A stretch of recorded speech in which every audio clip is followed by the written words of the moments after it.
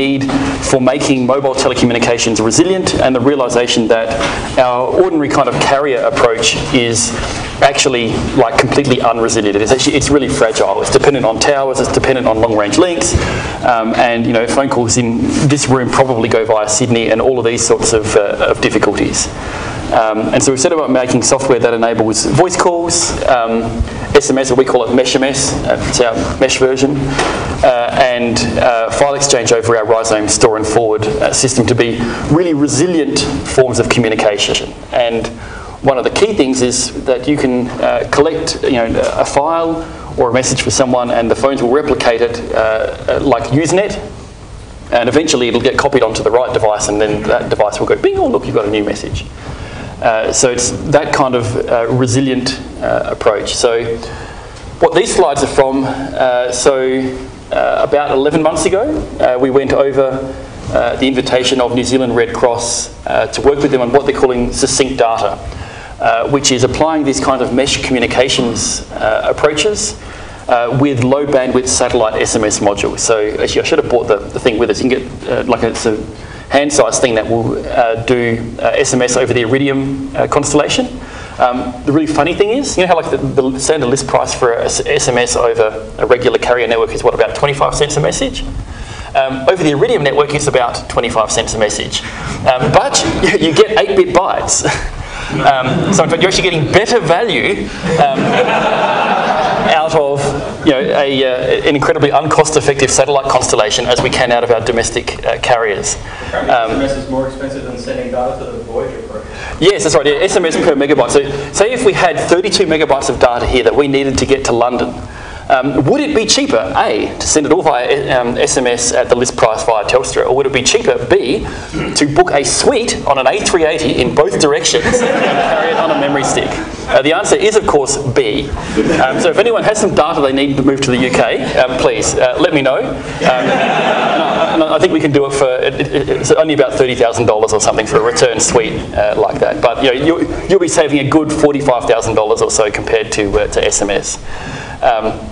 But so back in the land of, uh, uh, of more uh, serious and sensible, so they wanted to be able to keep track of teams uh, when they're out and about in the field and to be able to coordinate their activity uh, in more effective ways and also to be able to collect data from in the field. So they, uh, the longer term goal, and we'll talk about this a little bit more because we're actually going to head off with them again in about a month and hopefully we'll have our software finished that we need for it, um, is to actually be able to go out and collect field reports that might be, you know, family has, you know, three adults, five kids, uh, nine goats and they need you know, a whole pile of stuff, but obviously they don't need milk or cheese. Um, and just you know, collecting this kind of information that then comes back and then they can coordinate and go, okay, we need to order in you know, uh, 400,000 blankets and a whole pile of Weet-Bix to use the goat milk. Um, so it's thinking, you know, it really is, it's providing, I would call it situation awareness really. And so uh, last year what we did with the early version of the Serval Mesh, which uh, I'm quite happy to admit was uh, largely cobbled together and, you know, and, tied up with duct tape and, um, uh, and baling twine. Uh, in fact, we actually on the on the, uh, the Android phones, we had a complete installation of Asterisk. That was an example of just how uh, quickly cobbled together a solution. So the, you know, the APK was like 6 meg and installed into like 25 megabytes or something as it extracted this whole thing. Uh, if you want to ask about porting Asterisk to Android, it's a very entertaining process. Um, but back at the point. Um, so we had this early system and we proved that, you know, yes, in fact, uh, we could do it. And it was really interesting. By the, the end of the week, uh, we had some of the, the so KiwiX itself uh, is the IT and Telecommunications Emergency Response Unit in New Zealand, which is one of five globally, uh, only five, um, who are called in to provide telecoms support for other Red Cross units when they deploy. And so uh, the um, uh, Matthew Lloyd, who runs that team, likes every year to get them out on a, a field exercise and as closely as possible simulate uh, real field environments. So they're made to pass through um, slightly fictitious uh, passport controls and actually, you know, they're actually asked to actually bring their real passports with them and they get their papers checked and of course they're bringing in crazy high-powered radio gear and so they have to have all the, the import papers for that and they go through all of that process. Um, and then you know, they- they're doing the things they need to do. Uh, they get harassed by uh, militia. Um, of course, it's probably really not quite kosher for uh, you know, those of us on the disruption teams to actually turn up with AK-47s and uh, the real militia toys. Um, it's much more fun actually. Uh, so last year we uh, had a, a rather OH&S obsessed um, militia who basically you know, came around and you were reading out the customer service agreements and uh, detaining them with, uh, with endless uh, telemarketing style uh, paperwork, um, which was equally effective. It was actually really fun because we um, we'd pre-arranged with one of the guys. We actually we gave him a um, um, basically a, a gold membership card uh, for the, like the uh, the militia, sort of you know Terry Pratchett style of you know if, if you're a member of the guild then you get treated better and all of these sorts of things. And so you know we, we were going through this thing. and We had the, the three cars in a row all lined up there, and so you know we're doing the spiel to each one in each car, saying you know if you have a you know if any of you are members with the uh, the militia guild, to you know to please present your cards now. And you know the, the first couple of cars is kind of like you know whatever you know and the, and, and, and the sniggers, and then we sort of get to the back car, and then unbeknownst to the other three guys in the car, this guy says, "Oh no, no yep, uh, I've got mine with me," and they're like, "Oh excellent, you know, oh platinum member sir, fantastic! Like just you know if you could just pull your vehicle out and uh, proceed down to the front of the queue." and then yeah, they all get to get, got to hop out and go to a refreshment centre and you know, got happily refreshed while you know, we largely ransacked their car and decided what few things to pinch. Uh, but I think they actually came out in front and actually I think those guys actually didn't give our pens back either on signing the paperwork. We actually, we actually we had receipts when we kind of like took their gear um, to sort of add to the uh, the paperwork. Um, but so you know, we, we sort of uh, have these disruptions and things to uh, uh, to try and simulate just the, the real delays because they had the missions to achieve in set time frames. So as light-hearted as some of this was, it was about uh, you know doing what they needed to do uh, in a day. Um, so we'll just go through what Matthew has provided. Some, some of this is uh, things that I think we'll be quite familiar with, and this is really from a, a Red Cross to other agency uh, perspective. So you know, smartphones they can do a whole pile of stuff. But without a network, uh, they're pretty useless. Uh, so, you know, obviously we're looking at uh, you know, alternatives. So we're using uh, our mesh phones uh, with Wi-Fi based mesh, and not. Oh, okay. Oh, we have an, an animated one. Um, so we have phones that can uh, mesh together. We can bring in another phone. We can mesh those together. Bring another phone, um, and maybe this one's out of range. So then we can put some kind of booster device as a, a mesh potato that uh, David Rowe will be uh, quite familiar with. Um, and then we can use, say, the Serval mapping tool. And so the, the, uh, the blue point um, would be yourself, the red points are other people. And this was uh, OpenStreetMaps, curiously enough, didn't actually have a, a great deal of detail about uh, the middle of a pine forest in New Zealand. And so the, uh, it's presumably the correct name of the place. Uh, and so the yellow point would actually be a, a point of interest. So you might be marking that you know, a road is out or that there's people that need assistance. Um, and we can then uh, add in other fascinating ways. So the, uh, the mesh can synchronise to things uh, as they pass by. I mean, a little bit uh, uh, facetious with the bike, but actually totally feasible because the software automatically synchronises data onto devices. And this was part of what we were prototyping. And I remember uh, sitting in the because we got to uh, being part of the uh, the staff. We got to stay in these lovely cottages over here.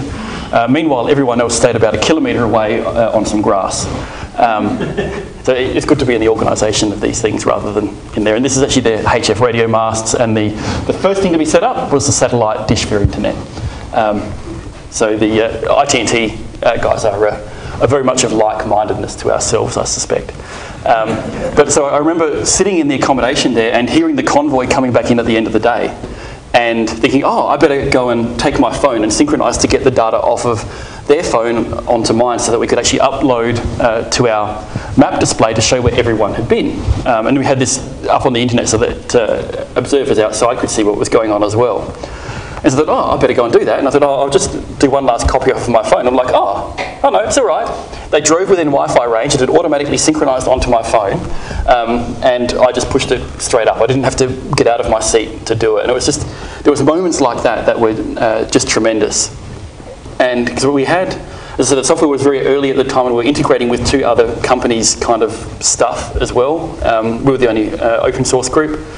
Um, and so I think we had nine software updates or something. Jeremy can probably remember the, uh, the craziness of that week. If it was just, you know, they'd do some fixes or whatever, and then I'd, I'd be back on the satellite phone, uh, back to base saying, uh, oh yes, and, and this isn't working now, and we need this, and they've done this, and they haven't done that, and we need to make this work. Um, and so we were pushing out software updates. Um, the best way to get software updates out in that setting was actually over the mesh itself. So we're actually using our rhizome store and forward mechanism, uh, pushing out updates. Um, I'd go and meet with the team leaders in the operations centre, and we kind of we, we told them on the first day, look, whenever you come in, bring your phones in with the mesh running, and I'll have my phone with the mesh running, and by the time we've gone through all of the stuff, um, your phones will actually have the software and whatever updates uh, you need, and I'll, that will have copied all the data that I need uh, back off of those phones. Um, so they did that, and then they go back to their teams. It would synchronize onto their teams by the time they'd explain to them, hey, you need to put this software update on, and it stops this crash or it adds this feature.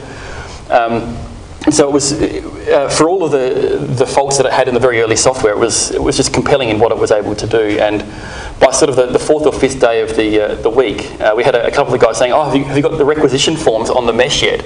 We're sick and tired of filling out the paper ones.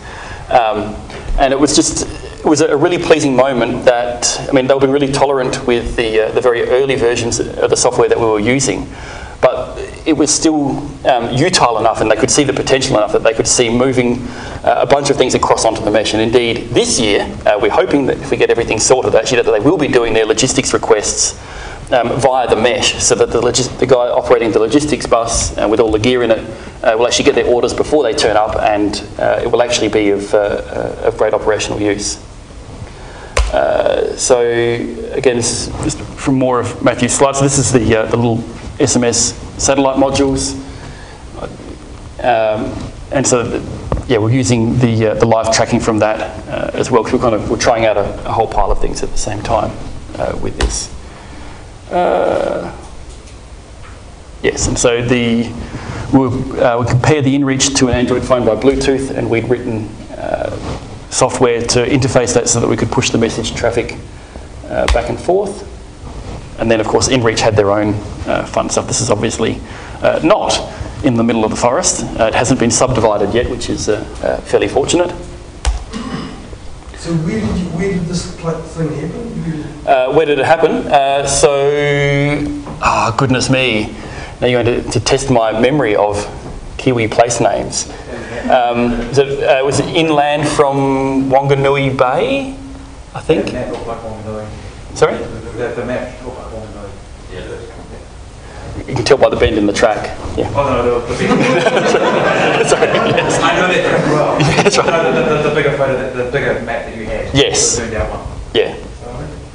And New Zealand's a really small place. That's right. So, so for those of us that haven't been there, so uh, North Island, bottom of the North Island, you've got uh, Wellington, the capital, and it's slightly northwest, sort of. Um, yeah, we're about I don't know, 20 or 30 k's inland.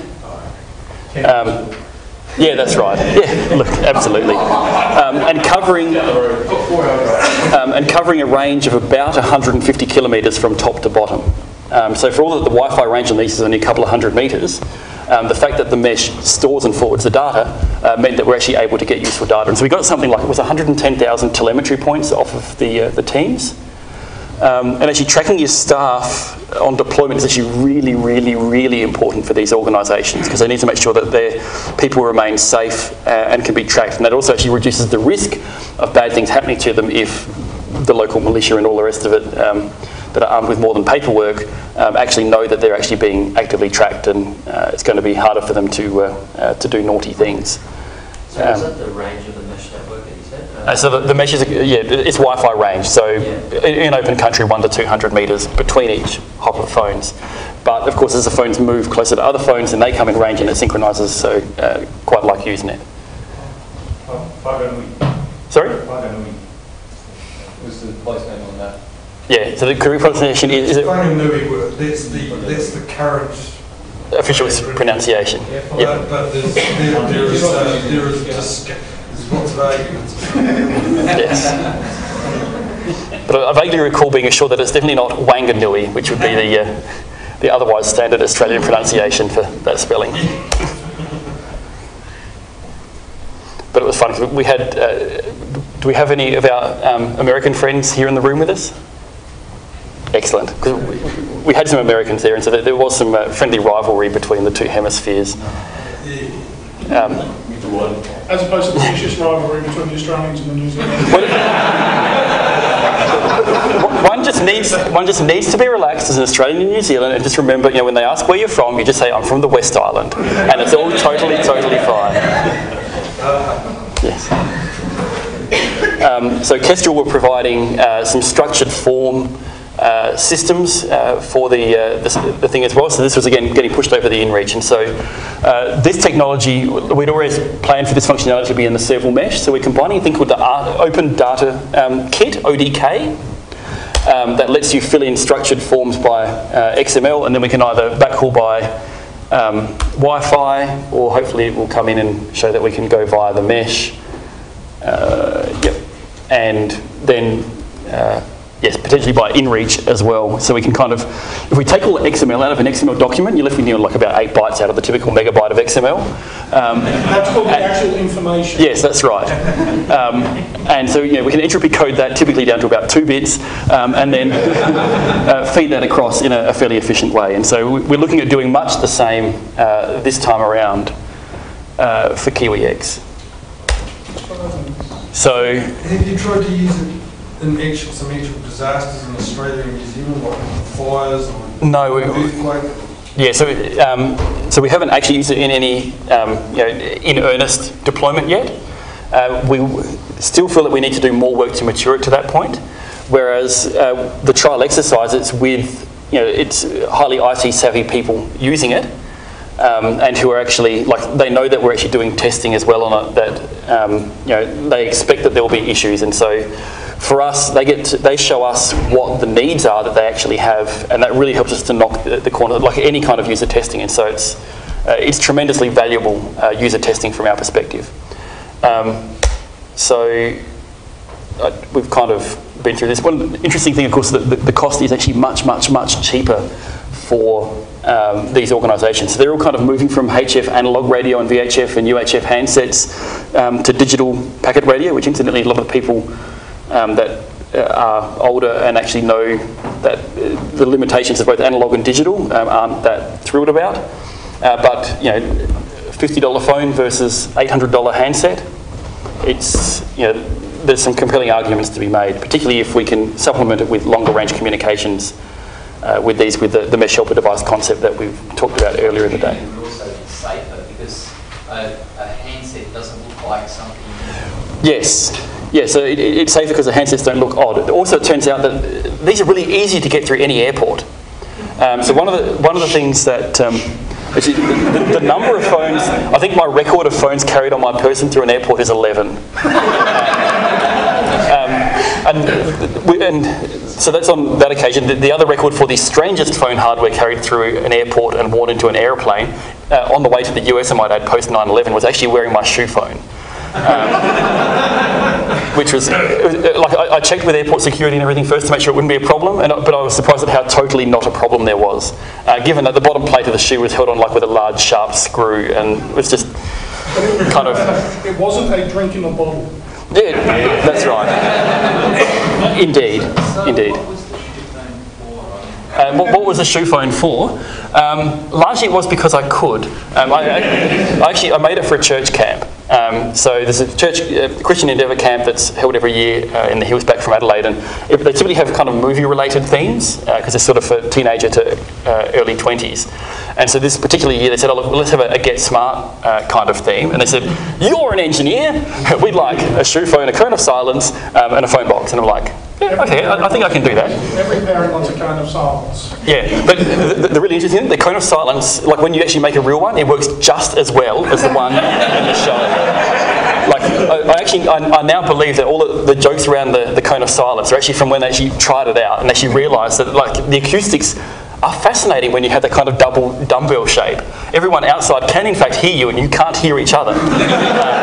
Uh, it, it, really does work as advertised. Um, and a 19-inch rack with a glass door and a, a bit of sticky tape and a, uh, a cheap plastic uh, payphone actually works fantastically as a, uh, a phone. Uh, but and, and the, the, the, campus had a fantastic time. Uh, no, that's right. It weighs more than seven kilos. Yeah. Slightly hard to get up into the uh, the overhead lockers. Um, but yeah, and, and the kids loved it because they kind of had to do all these challenges, and then they basically got to use the shoe phone to ring control to report who the agents were and stuff. It was good fun. Yes, I, I was surprised. I thought that someone would have made a shoe phone that actually worked prior to that, but no one actually had made a, a proper wearable one. The closest is a, um, a, a basketball player in the US who has like size 89 shoes, who just basically like just you know chiseled out a canoe size hole and put a uh, um, some large mobile phone in there. That's right, but then he proceeded to break it because when you need size 93 shoes, like you can't actually take any of it out without them breaking. Um, so I'm not sure whether we have pictures in here. Otherwise, how many, have I used all my time? Or do we have? Yeah, Um, we got maybe one time for one more question. well, yes, if people want to ask questions, and I'll see if I can find the some pretty photos to show them at the same time. put your hand up and we'll just bring the microphone. Go ahead. Uh, Could you maybe give an example or two of things that you've learned from the networking experience in the field and that you change the project? Sure. So um, one of the things we found actually was when you put 20 mesh phones into a room, um, that they could actually get quite chatty. They're worse than ducks. You know, like if you, if you have ducks separately, they don't quack. You put ducks together and they, they, they quack. Um, so mesh phones kind of behave the same. Um, but also what we discovered actually was that the, the Red Cross actually, they, they didn't care about voice. Um, they didn't care about the, the immediate real-time communications. What they cared about was this succinct data content of small pieces of information um, that could actually be used to inform what they're doing. Um, and even, I mean, yeah, the, the, the battery life uh, is fairly dreadful and is still suboptimal. Um, that's reasonably manageable for them. Um, but yeah, it was it- this, this realization that the store and forward um, and structured form entry really were the, uh, the valuable things, and combining the local mesh um, to get large data through quickly and cheaply with the satellite for when uh, there's no other option available. And it was yeah that combination uh, really made for a, um, quite a, a compelling solution, I think. And certainly we have a great deal of excitement from uh, our partner uh, in New Zealand, Red Cross, who is this man here, uh, Matthew Lloyd. Um, and so this is a chap from Kestrel and a bunch of the other guys there. Um, so that was setting up the, and and feel free to ask questions while I just flip through pretty pictures. Yes? Just one, yeah, like-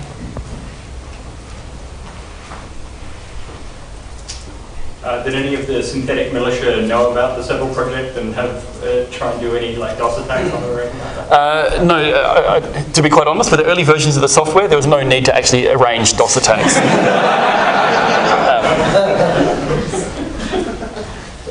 it was a built-in feature in the early versions. It's not a bug. That's right, but we- we've taken that out. That's reduced the APK size by about 4 meg. Yeah. So, so I can imagine out in the field that these Red Cross teams might be quite few and very far between. Um, so, so realistically, what sort of range or, you know, how, how, how, how can that be dealt with? Yeah, so this is really why we're using those satellite SMS modules. So you'd have a team who would be within Wi-Fi range of each other um, and of their vehicle. Uh, and sort of the, the longer term vision we have is actually something on the vehicle which is probably with a, a decent plus 3B or plus 6 dB Wi-Fi antenna instead of some of these phones that have, depending on the orientation, up to about minus 10 dB, we believe, possibly even worse. Um, so, and one of the fascinating things, like Wi-Fi here in this room, actually has pretty poor range. Um, you get out into the open country, and there's no microwave ovens. There's not 800 other delegates uh, all trying to check their Gmail at the same time, um, and just you know all of that kind of thing disappears. And so uh, we found range between phones can be like two to 300 meters uh, in the open. So particularly, we went up to, to Arkaroola in the, uh, this outback in South Australia, and you know it was pretty much ideal for Wi-Fi. Like you're talking about, you know, like six percent humidity or something. There's no vegetation. We're on ridgetop A. Someone else is on ridgetop B. You've got you know Fresnel zones and clear horizons, and it, it was all lovely. And we're getting yeah around 300, I think, because we're using G1 phones, and I think they actually have better Wi-Fi antenna. Because I reckon a couple of the links we had were nearer 500 meters. Great. Thank you to Paul. My pleasure.